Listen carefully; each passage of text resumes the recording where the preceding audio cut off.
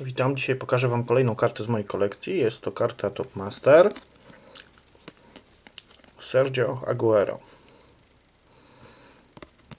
Karta sztywna, fajnie wykonana. Fajne parametry w ataku. Dosyć dobre w środku pola, gorzej z obroną. E, Zawodnik Manchesteru City. Tył klasyczny. Karta dosyć sztywna, fajnie wykonana. Jest to jedna z bardziej popularnych kart w serii Top Master.